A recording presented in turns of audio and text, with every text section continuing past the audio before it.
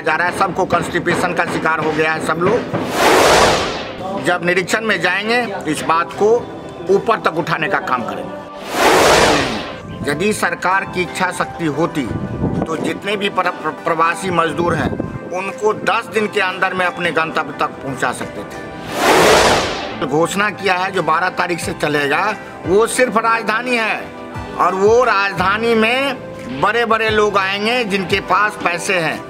एक ट्रेन का टिकट तीन हज़ार से नीचे नहीं है। बिहार के मजदूर हर जगह फंसे हुए हैं और उसको सही व्यवस्था नहीं मिल पा रही है। आप विपक्ष में हैं यहाँ बिहार में। आपकी पार्टी फिर इसके लिए क्या कर रहे हैं आप लोग? देखिए हम लोग लगातार इस चीज़ को उठा रहे हैं। सरकार के सामने सारे बिंदु को रख रहे हैं। हमारे नेता आदरणीय तेजस्वी प्रसाद यादव जी 2000 बस देने की भी बात किए थे। 50 ट्रेन का पैसा भी देने की बात किए थे। लेकिन ये निरंकुश सरकार कोई भी ऑफ़र मानने को तैयार नहीं है। पूरे इंडियन रेलवे के पास में साढ़े बारह हज़ार से अधिक ट्रेनें हैं। यदि सरकार की इच्छा शक्ति होती तो जितने भी प्र- प्र- प्रवासी मजदूर हैं, उनको 10 दिन के अंदर में अपने गंतव्य तक पहुँचा सकते थे।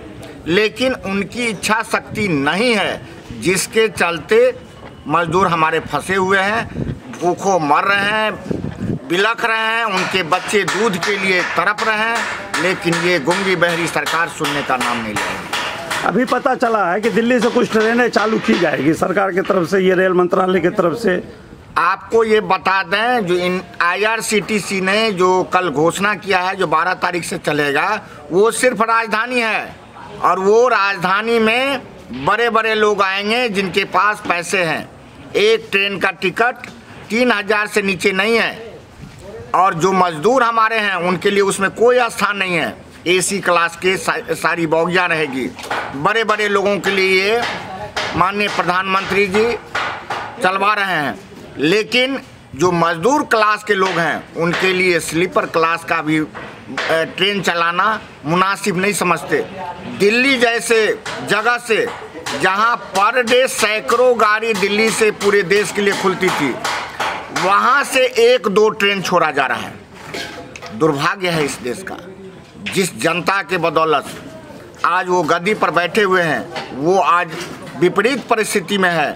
अन्न अन्न का मोहताज हो रहा है, लेकिन उसके लिए कोई व्यवस्था नहीं है, कोई सोच नहीं है, कोई विजन नहीं है।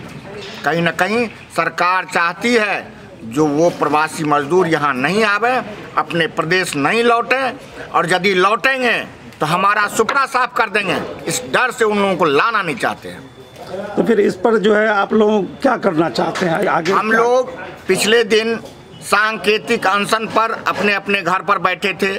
उसकी भी सूचना सरकार को गई है।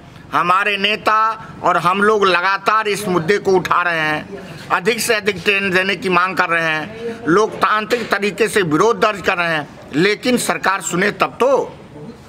केवल खाना पूरी हो रहा है और कुछ नहीं हो रहा है। यदि सरकार चाहे तो एक सप्ताह से दस दिन के अंदर में सारे प्रवासी मजदूर अपने घर पहुँच जाएँगे। सर एक चीज़ और आप जो है ये हर क्वारंटाइन सेंटर में आप कल भ्रमण किए हैं। क्या पोजीशन देखा आपने वहाँ जाकर? देखिए एक तरफ़ तो हमारे बिहारी मजदूर जो अन्य प्रदेशों में थे, वहाँ अन्न के लिए तरफ़ कर रहे थे, वहाँ भोजन का प्रॉब्लम था। जब अपने घर में आए हैं तो यहाँ भी तरीके का भोजन नहीं मिल है उनको। तरीके का व्यवस्था नहीं है। कल हमने करीब दस, आठ, दस जगह जो हमारे विधानसभा क्षेत्र में क्वारंटाइन सेंटर बना हुआ है, उन सब का निरीक्षण किया। कहीं चावल में कीड़े हैं तो कहीं सब्ज़ी में हरा सब्ज़ी नहीं दिया जा रहा है। कहीं पर मच्छरदानी का व्यवस्था नहीं है। कुल मिलाकर के सारी बातों से यहाँ के जो जिलाधिकारी हैं उसको मैंने अवगत कराया और कहा, जो आप खुद जाकर के निरीक्षण कीजिए और जहाँ जहाँ जो कमी है, उसको पूरा कीजिए। अन्य प्रदेश में तो परेशान थे ही।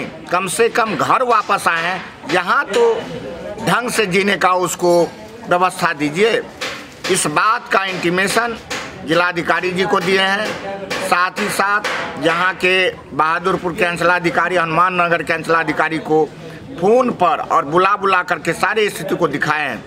हम समझते हैं ये लोग सुधरे होंगे। दूसरा सबसे बड़ी समस्या है, जो दोनों टाइम अरबा चावल खिलाया जा रहा है। सारे लोगों का आदत है एक टाइम रोटी और एक टाइम चावल खाने का। जिस तरह से दोनों टाइम अरबा चावल खिलाया जा रहा है, सबको कंस्टिपेशन का शिकार हो गया है सब लोग। और कल होकर जो बीमार पड़ेंगे। इस संदर्भ में भी हम जिलाधिकारी जी से आग्रह किए जो एक टाइम चावल और एक टाइम रोटी का व्यवस्था करवाइए। उन्होंने आश्वासन दिया है। हम समझते हैं, जल्द ही उन लोगों के लिए मुहैया कराएँगे। और यदि नहीं कराएँगे तो फिर हम अगले दिन जब निरीक्षण में जाएँगे, इस बात को ऊपर तक उठाने का काम करेंगे।